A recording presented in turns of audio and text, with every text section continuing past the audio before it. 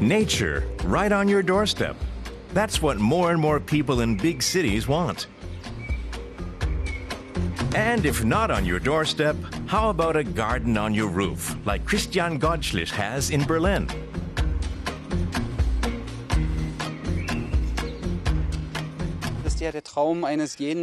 Everyone dreams of being able to sit in their garden in the evening, barbecuing, enjoying it all.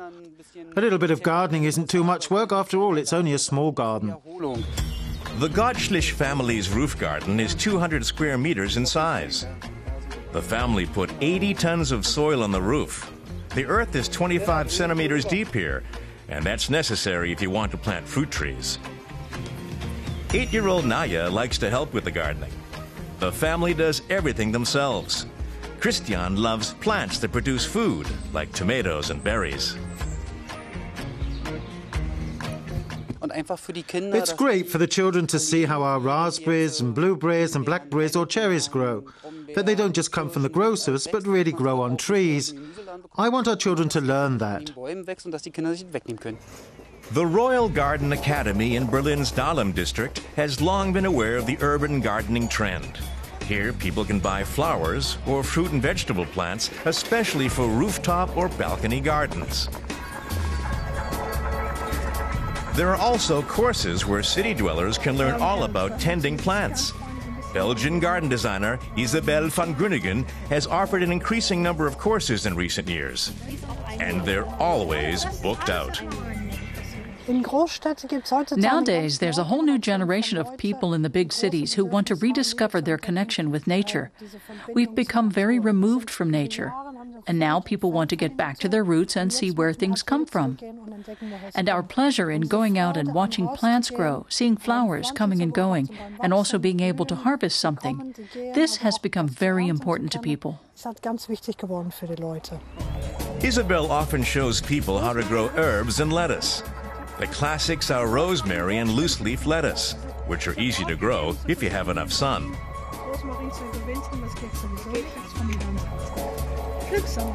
The newest trend on city terraces is growing vegetables.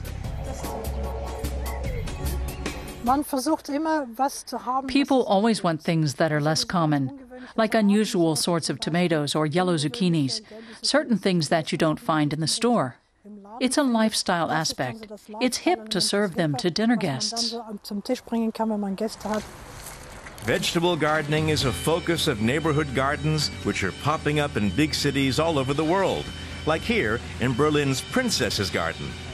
The founders rented a fallow area, 6,000 square meters in size. In good weather, anyone, whether local or tourist, can come here and do a little gardening. No one has his own separate area. Participants plant and sow together. Here, urban agriculture and the social aspect of gardening come together. Here in this garden, I'm learning a lot about growing vegetables, which I had no idea about before. And there are a lot of plants where I'm not sure yet how they'll turn out. And that's fun. Berlin still has lots of fallow areas that people could use to garden together. It's nice because you get to know people with the same interests.